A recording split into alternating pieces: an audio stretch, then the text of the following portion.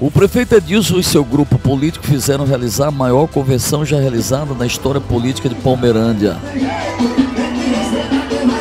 Que festa bonita! Um dia para entrar na história!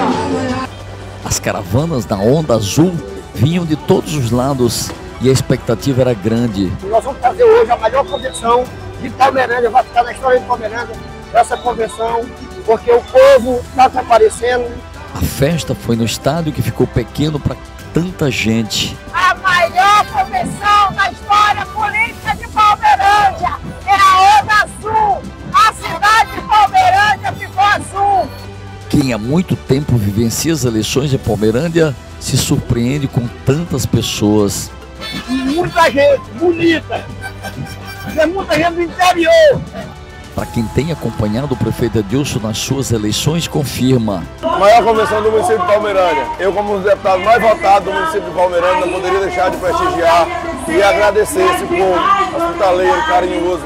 Lealdade, união, confiança e determinação pelo trabalho fizeram o grupo escolher o vereador Dico de Dedeco na chapa do prefeito Edilson. Dá continuidade no trabalho que Edilson vem fazer, do nosso prefeito Edilson que vem trabalhando muito no nosso município.